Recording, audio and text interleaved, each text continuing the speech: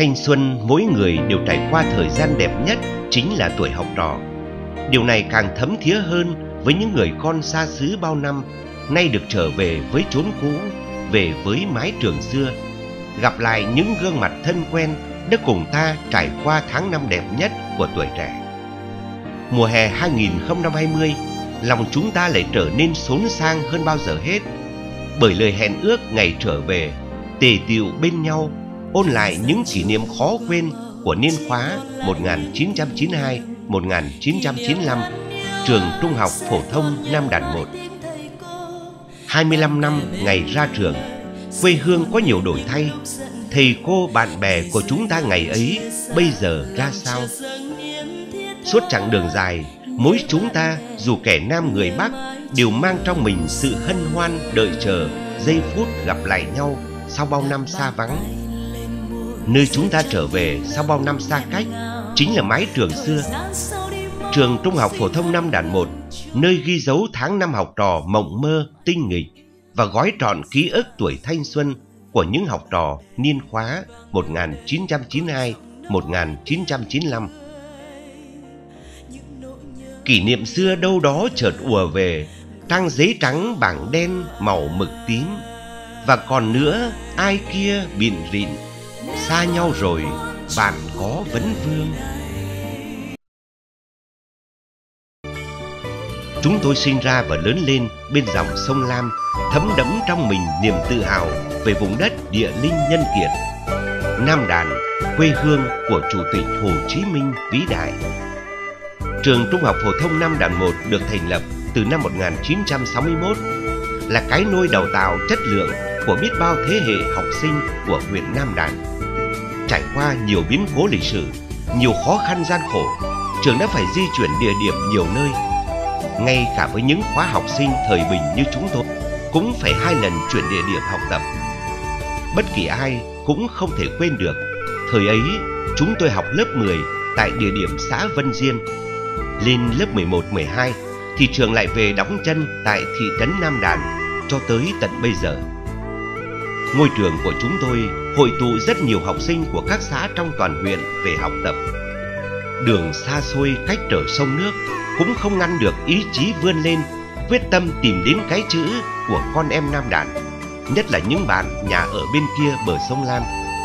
Thuở ấy chưa có cầu như bây giờ, đám học trò chúng tôi phải đi đò sang sông để tìm con chữ mỗi ngày. Vất vả là thế, nhưng con đường đến trường luôn rộn ràng tiếng cười đùa hồn nhiên của tuổi học trò. Và còn đó rất nhiều ký ức về ngôi trường cấp 3 trong những năm tháng ấy.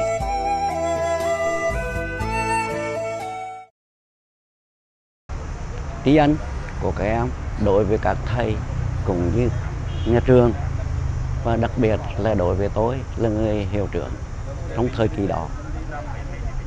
Được nhận giấy mời và thông báo à, trong những ngày sắp tới sẽ về từ trường thì lòng chúng tôi rất là phấn khởi, đồng thời cũng rất cảm xúc trước sự ghi nhớ của các em trong những thời kỳ học tập ở nơi trường trung học phổ thông năm năm một đó là một khóa học mà đời tôi cũng rất là nhớ sâu sắc, bởi vì từ khi học trên trường cũng rồi là nơi là cấp 3 năm năm một rồi là chuyển về thị trấn nơi trường cũ.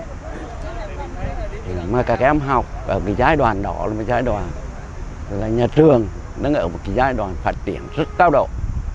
Bởi vì nhà trường vừa nhận được những là huấn chương lao động hàng ba, rồi lại nhận huấn chương lao động hàng nhì. Mà trong giai đoạn này là cái khối học sinh đó đã đóng góp vào những thành quả rất lớn. Được học sinh học rất giỏi có nhiều em đạt được kết quả rất là cao về cái điểm số. Ừ, học sinh quốc gia, học sinh giỏi tỉnh, rồi đội ngũ các thầy cũng rất là vững mạnh. Khi thầy nhà trường nó phấn đấu rất là tốt. Cho nên để là theo đuổi, theo dõi tất cả những bước đi trưởng thành của các em trong những năm qua, thì điều đó là chúng tôi sẽ gặp, mong cho đến ngày gặp lại tất cả những học sinh có mặt trong khóa đó ai còn nhớ chăng những dòng lưu bút năm xưa trao tay nhau với bao lời hẹn ước, bao tâm tình của tuổi học trò trong sáng vô tư. Người còn nhớ hay đã quên ước hẹn ngày về khi chúng ta khôn lớn. Sẽ lại nắm tay nhau như thuở còn thơ dại, sẽ cùng nhau đến từng nhà thầy cô giáo năm xưa để được ôm ấp, vỗ về và cả cái cốc đầu, nhéo tai đầy triều mến dành cho lũ trò cưng tinh nghịch. Lời hẹn thề vẫn còn nguyên vẹn, nhưng ngày trở về sau 25 năm chợt thắt lòng bởi vết dấu thời gian. Dòng lưu bút với nét chữ thân thuộc in dấu trên trang giấy trắng còn đây. Nhưng bạn tôi nay ở nơi nào?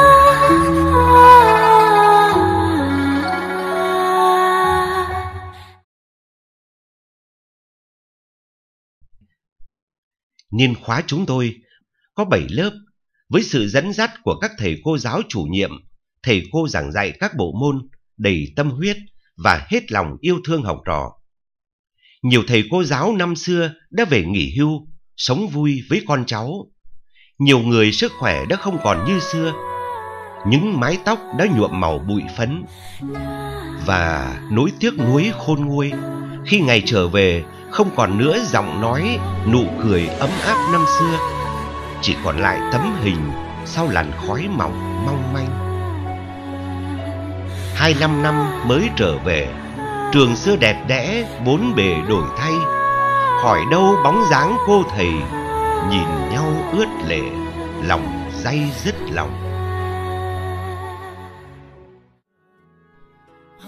Giờ đây, khi chúng tôi đã trưởng thành, Trở về trường xưa, Việc đầu tiên mà chúng tôi thực hiện là quay lại vòng tay yêu thương Của những người lái đò năm xưa rất nhiều thế hệ học trò đã được thầy cô giáo dìu dắt suốt bao năm. Nhưng với những thầy cô giáo thì học trò khóa 1992-1995 vẫn còn rất nhiều ký ức đẹp được lưu giữ. Những giây phút thầy trò gặp lại hôm nay dường như xóa tan những điều muộn phiền trong cuộc sống, xóa nhòa khoảng cách thời gian. Chúng tôi lại được trở về là những cậu học trò tuổi 17, 18 đầy tinh nghịch được sống lại những ký ức về quãng thanh xuân với bao trò đùa nhất quỷ nhì ba thứ ba học trò được nhắc tên đầy triều mến yêu thương. Sau bao bộn bề cuộc sống niềm vui lại đong đầy trong những câu chuyện ngày xưa dấu yêu. Ta trở về để thấy nắng ban trưa ngôi trường cũ với ngàn bông hoa nắng để thấy mình trên từng trang giấy vời vợi xa nhưng thương nhớ vẫn đong đầy. Tâm tư của người thầy thì rất muốn gặp lại học sinh. Đấy, đó là cái mong ước vì học sinh các thầy đã đưa cái chuyện đo đó để cập bến mà các em hôm nay trở thành những người rất thành đạt trở về trường à, nhìn công việc nhìn gia đình rồi nhìn tất cả mọi cái hoạt động của các em trưởng thành như thế này thì người lại đò như các thầy rất là vui rất là hạnh phúc. Đấy. và thầy cũng mong các em làm sao à, ngôi trường này địa điểm này và ở địa điểm mới sẽ là cái ngôi nhà thứ hai của các em để những sớm những chiều các em trở về ôn lại cái cái cái cái hồi tụ của các em khi bước chân vào trường trung học phổ thông Nam Đàn. Và các em gắn kết các bạn lại với nhau à, để tạo nên cái sức mạnh của tập thể lớp. Không những trong công việc mà cả trong đời sống để giúp đỡ nhau họp lớp là để giúp đỡ nhau họp lớp để ôn lại kỷ niệm và họp lớp để tạo điều kiện cho nhau phát triển thầy rất mong muốn các em như vậy 25 năm đi qua những cô cậu học trò trở về ngôi nhà chung, về với mái trường trung học phổ thông Nam Đàn 1. Mỗi người một hoàn cảnh, công việc, nhưng dù là giáo viên, kỹ sư, bác sĩ, doanh nhân thành đạt, người nắm giữ những vị trí cao trong xã hội hay bất kỳ ngành nghề nào cũng đều chung cảm giác bồi hồi xúc động. Dưới mái trường xưa, bên bạn bè, bên những người thầy cô nâng đỡ chúng ta năm tháng ấy, ngắm nhìn dãy hành lang lớp học cũ đắm mình trong ký ức học trò đã trải qua cùng nhau. Mọi khoảng cách đều được xóa nhòa. Bạn và tôi, chúng ta được sống lại những tháng năm học trò hồn nhiên, trong sáng, vô tư. Hội khóa 25 năm ngày trở về là giây phút của niềm vui hội ngộ, cảm xúc mến thương ùa về. Và còn có cả những sự mong ngóng từ phương xa Em tên là Lê Thị Thị Hằng, học sinh uh, lớp 12 B niên khóa 1992-1995. Em sống ở nước Đức. Um, thật đáng tiếc là lần này em không được có mặt bởi vì dịch cúm corona. Um, em chính cúc thầy cô và các bạn có những giây phút bên nhau hồi ngộ thật vui, hạnh phúc và ôn lại những cái kỷ niệm uh, tuổi học trò đã được ở bên nhau và thật sự là vui. Um, um, không có gì hơn là tiếc rất chi là tiếc. Nếu như có corona thì em cũng đã được có mặt. Xin kính chào quý thầy cô à, tất cả các bạn bè học à, năm đàn một niên khóa 92 95 em tên là Lê Viết Biên à, học lớp B do thầy Quế chủ nhiệm hiện đang công tác tại à, Côn Đảo của huyện Côn Đảo, tỉnh Bà Rịa Vũng Tàu. À, được biết các bạn tổ chức hồi khóa 25 năm. Biên biết rằng đây là điều kiện tốt nhất để sau 25 năm được gặp lại đông đủ các thầy cô và bạn bè để ôn lại những kỷ niệm của cái thời à, học trò thân thương. Nhưng do điều kiện hoàn cảnh, à, mỗi người một công việc, đối với bản thân Biên vừa mới chuyển công tác đến à, Côn Đảo cũng gần một tháng nay chưa sắp xếp được công việc để về cùng à, tham gia hội khóa. Kính mong thầy cô, tất cả các bạn bè à, thông cảm và chia sẻ cho công việc của Viên. à, qua hội khóa cho phép Viên à, xin gửi lời kính chúc sức khỏe đến thầy cô và à, tất cả các bạn bè à, sức khỏe, hạnh phúc. Chúc cho hội khóa chúng ta thành công tốt đẹp. Hẹn gặp lại À, trong ngày gần nhất. Xin kính chào. 25 năm, học trò của bảy lớp có cơ hội gặp lại nhau, cùng ôn lại dòng ký ức của tuổi học trò, cùng nhìn lại chặng đường đã qua. 25 năm xa cách, biết bao điều muốn nói, biết bao chuyện muốn kể và cảm xúc rưng rưng gặp lại miền kỷ niệm thân thương. Dưới mái trường Trung học phổ thông Nam Đàn 1, Chúng ta, thế hệ học trò niên khóa 1992-1995 sẽ mãi khắc ghi kỷ niệm của những tháng năm đẹp nhất, không bao giờ quên những người bạn cùng ta trải qua thanh xuân, những người thầy, người cô dìu dắt ta nên người, chắp cánh cho những giấc mơ tuổi trẻ bay cao, bay xa để ngày trở về luôn đong đầy yêu thương. khóa học 92 95 này là khóa ấn tượng nhất đối với cô bởi cái khóa này là khóa đầu tiên ừ, à, thế hệ trẻ của của cô về trường và à, dạy cô dỗ các em. Cái viên phấn đầu tiên của cuộc đời dạy nhà giáo chính là ở khóa học 92 95 vì vậy thì à, đây là khóa học ấn tượng nhất đối với cô đối với thế hệ trẻ của của cô thời đó. Thì à, trường rất là vinh dự và vui mừng được đón à, khóa học 92 95 sẽ trở về trường để à, kỷ niệm 25 năm ngày ra trường.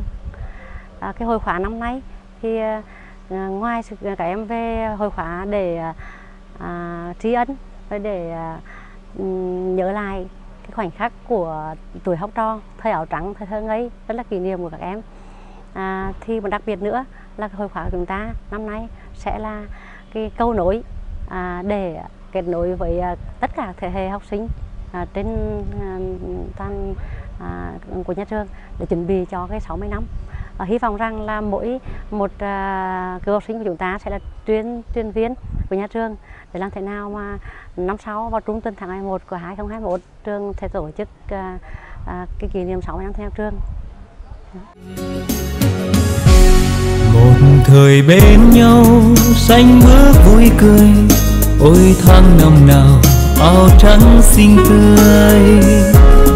Dù rằng xa nhau dẫu ở nơi đâu, vẫn giữ trong lòng hình bóng thân yêu.